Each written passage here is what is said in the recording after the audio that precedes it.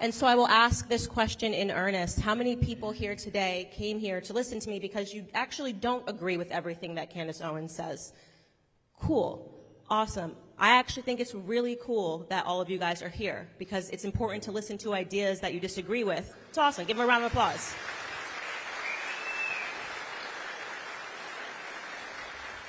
And also, at the end of this, if you guys sitting in the row have any questions, we want you to come right to the front of the line and ask them. We want to give you an opportunity to talk to us, talk about the things that you disagree with, and hopefully find places where we do agree. Because I am convinced after doing this for seven plus years that there are actually a lot of things that we do agree on, but right now the media doesn't allow for that conversation to take place.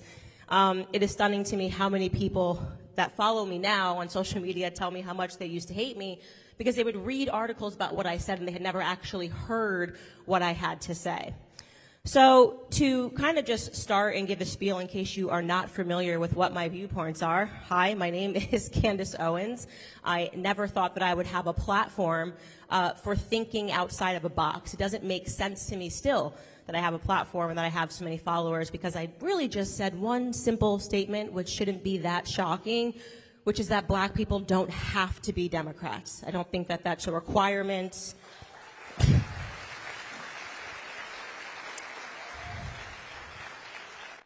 The second thing that I think I said that has upset a lot of people is that as a black person, I am not required to support a movement that garnered $90 million in one year and in which none of the money went to the black community.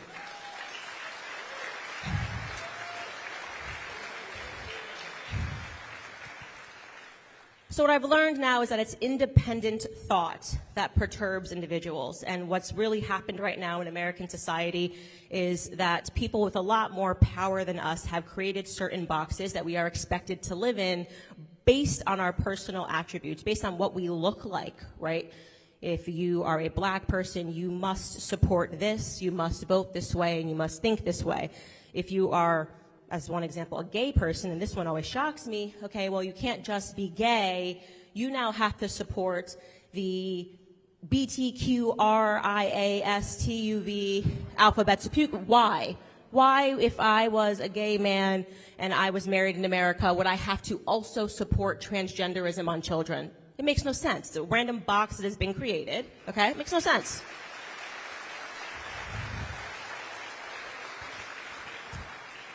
And God forbid you are a gay person, you say, actually, you know what, just because um, I'm a male and I'm in love with another male, I actually don't necessarily believe, you know, that we should be affirming children's gender, then the entire community, your community, will chew you up and swallow you whole. That's what, and this is what really the purpose of these boxes are, is to make sure that you conform, that you don't think, that you don't think beyond boundaries that have been assigned for you. And this goes over on all over the place, all across America. We see these boxes being created, and people are fearful of stepping outside of them because they get smeared, ridiculous smears. I mean, the, the first thing that came at me was that I was a black white supremacist. It's entirely no sense. People just couldn't think and go, well, why would Candace want to live in a society, help create a society that she can't live in? Why would I want white supremacy to come back if I can't function within that society? Um, the second thing, which is my favorite, which is said about me, is that, you know, one day I woke up and became a conservative because I wanted to make a ton of money. Sweetheart, if I wanted to make a ton of money, I would have been the most committed black liberal you've ever seen, okay? they were writing Patrisse Cullors checks I have never seen in my life for saying Black Lives Matter on a fist bump. Do you know how much better I would have done it than Pat Patrisse Cullors? I would have been on CNN, MSNBC. I mean, they were eating this stuff up, giving book deals to people for nothing, literally for being black, right? And then when it all came down, nobody wanted to say anything about Patrisse Cullors, and so I made an entire documentary. I did, right? Because she was a fraud, and she always was a fraud, and people couldn't see it at the height of their emotion. And this is the thing that people don't realize, is that your emotions have been hijacked, right? You need to set aside your emotions if you want to make it through society today. They will find out how you feel and they will manipulate you. I say this at the moment that you have a feeling, pause and ask yourself who benefits from that feeling. I will guarantee you it's not you.